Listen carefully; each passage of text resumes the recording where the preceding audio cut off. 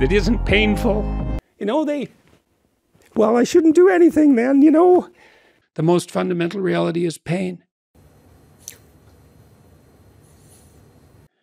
Yes. Is there anything more fundamental than pain? Love.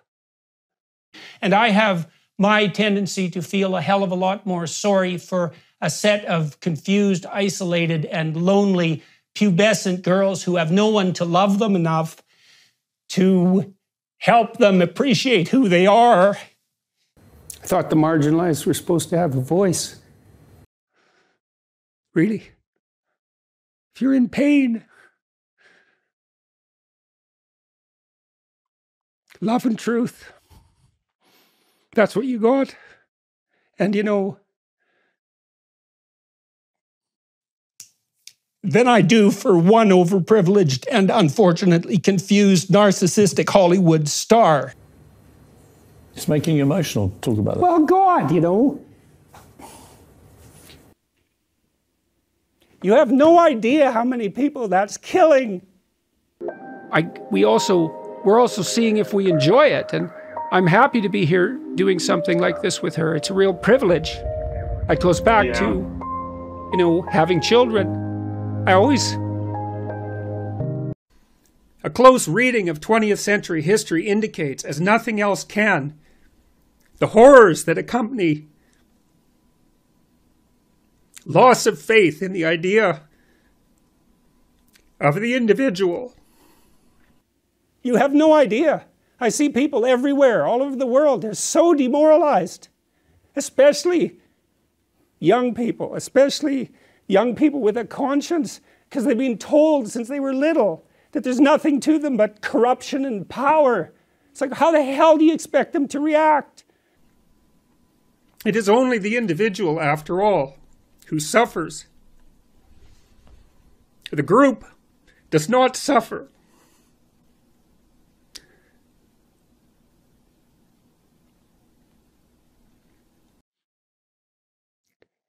They're more powerful than pain, maybe they're the most real things. Even in the revelation of their triumph, the initial depth of their despair,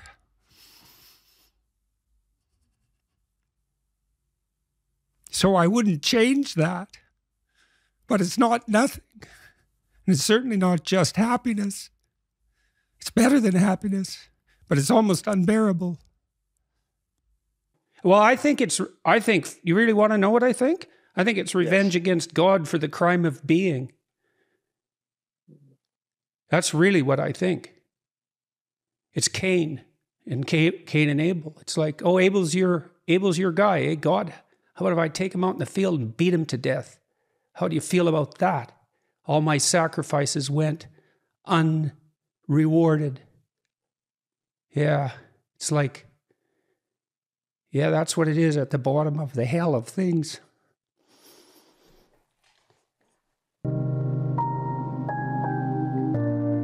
I suppose, too, this has been enhanced by my ill health in recent years, but I always feel that it's a privilege to spend time with my children.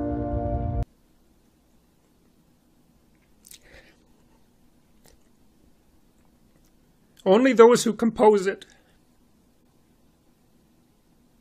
Thus, the reality of the individual must be regarded as primary. If suffering is to be regarded seriously, without such regard, there can be no motivation to reduce suffering and therefore no respite. Instead, the production of individual suffering can and has and will be again rationalized and justified for its supposed benefits for the future and the group.